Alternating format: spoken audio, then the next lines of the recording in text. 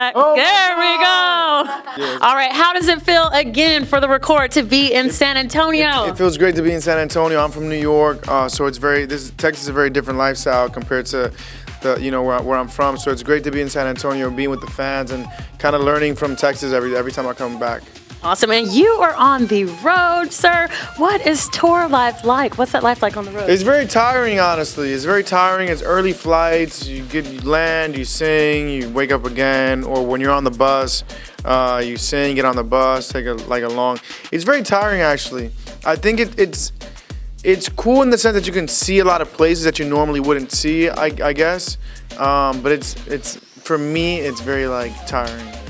We all do a lot of meet and greets before show too, and then like rehearsals, which I think makes it even more difficult. So we, we um, when we're on tour, we meet like 50 fans each show. Um, I think it's all about the fans, so I try to always kind of like be as close to the fans as possible and kind of try to spend time with them every time I can. Wow. So it seems like you kind of put yourself second sometimes. You know, how do you make sure to stay, you know, rejuvenated and keep yourself up in your best health? Um, try to go to the gym often, try to eat clean. Okay. Even though today the dressing room had a, a bunch of candy in there, so I, ate, I ate a lot. But what can fans expect tonight?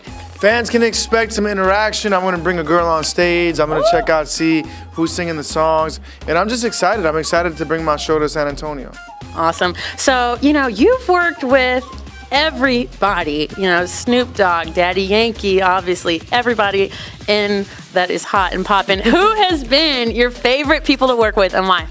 Uh, I really liked working with J Lo. I think she's a hard worker. Mm. Enjoyed working with Shakira. Um, I enjoy. I'm like, yeah. Let me mention all the girls I enjoyed working with.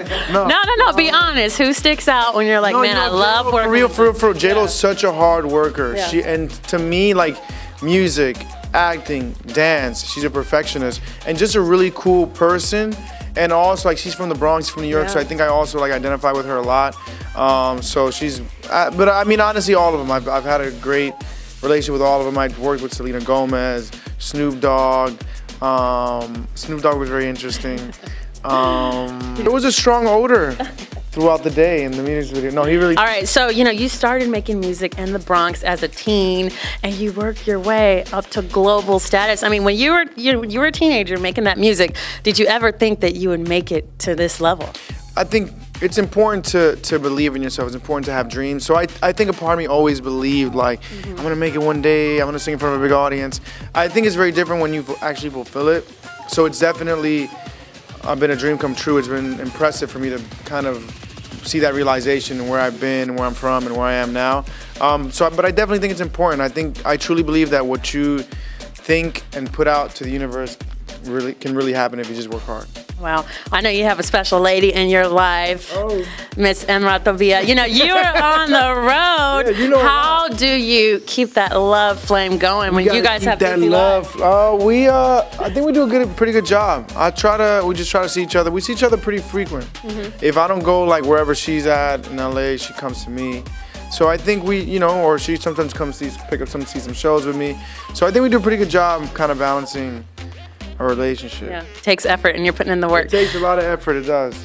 And uh, let your fans know back home who couldn't make it tonight. What is next? You know, I love that hit, Adicto. What's I was next? jamming to it while I was Thank getting you. ready. What's Adicto's next? next is a song with Marc Anthony. Go check it out.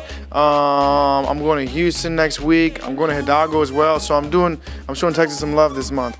I'm working on some new music, so hopefully I'll have um, some new music and a tour by like summer around there. Awesome. Well, it was a pleasure chatting with you, and I hope you kick some butt tonight. Amen. Love San Antonio. Love y'all. Take care. Bye, guys.